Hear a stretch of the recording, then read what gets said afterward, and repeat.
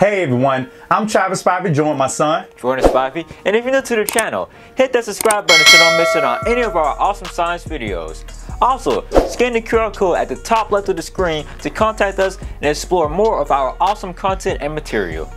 In today's video, we will cover magnets and magnetic fields. So, So let's do this.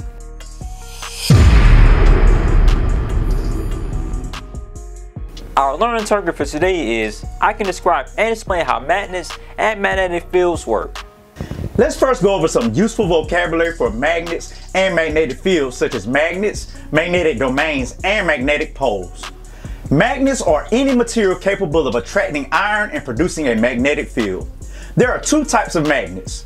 The first type are permanent magnets which always have a magnetic field. This means you can't turn it on and off, it is always on. Lodestone is a naturally occurring permanent magnet that comes from magnetized pieces of mineral magnetite. The second type of magnet is electromagnets whose magnetic fields can be turned on and off.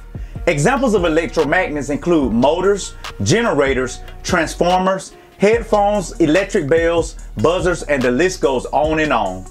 Electromagnets are used in almost every electronic we use today from cars, headphones, radios, computers, phones, you name it.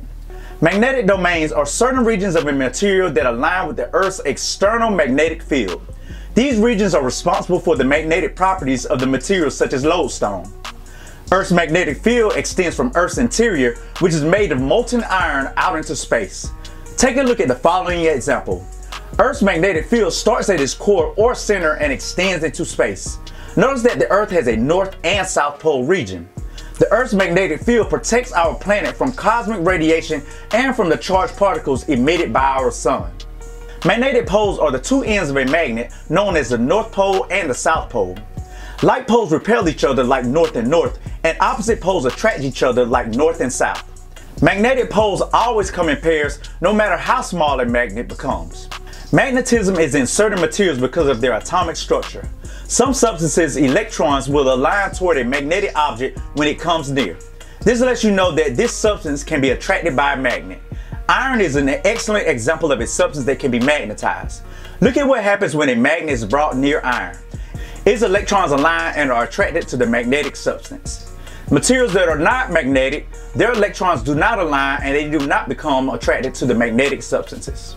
Now let's take a look at magnetic force and magnetic fields. The force that a magnet exerts on certain materials including other magnets is called magnetic force. The force is exerted over a distance and includes forces of attraction and repulsion. Both the south poles of two magnets attract and come closer to each other, while two north poles or two south poles repel and push away from each other. A magnet can exert force over a distance because the magnet is surrounded by a magnetic field. The larger or stronger the magnet, the larger the force it exerts over a certain area. This explains why Earth exerts a very strong magnetic force because it has a very large magnetic field. Look at this example. You can see the magnetic field surrounding a bar magnet. Tiny bits of iron called iron filings were placed on a sheet of paper. When the magnet was placed on the paper, it attracted the iron filings. The patterns of the iron filings shows the lines of force that make up the magnetic field of the magnet. The concentration of iron filings near the poles indicate that these areas exert the strongest force. You can tell because there are more shavings near the north and south poles than there are in the middle of the magnet. When two magnets are brought close together, their magnetic fields interact. You can see how they interact in the following diagrams. The lines of force of north and south poles attract each other, whereas those of two north poles repel each other. In summary, a magnet is an object that attracts certain materials such as iron. All magnets have north and south magnetic poles. The north and south poles are regions where the magnet is strongest. The force that a magnet exerts is called magnetic force. The force is exerted over a distance and includes forces of attraction and repulsion. A magnet can exert force over a distance because the magnet is surrounded by a magnetic field. This goes to show that objects can exert force on each other even if they are not in contact with each other. Magnets are able to exert force on other objects because of the magnetic fields that surround them. Think about this. The closer you bring magnets together, the more force that they have. They're either going to attract or they're going to repel each other. So the larger the magnet, the more force and the more attractive or repulsive force that it has. The smaller the magnet, the less force or the less attractive force or repulsion that it has. And that's our video for today. Now let's session off to see how proficient you are with describing and explaining how magnets and magnetic fields work by taking our video quiz. Use your electronic device to scan the QR code at the top right of the screen, or you can click the link in the description box below the video to take the quiz. Remember, 80% are higher for proficiency. Record your results on your proficiency sheet, and if you don't get it the first time, you better keep going because it's not over until you win.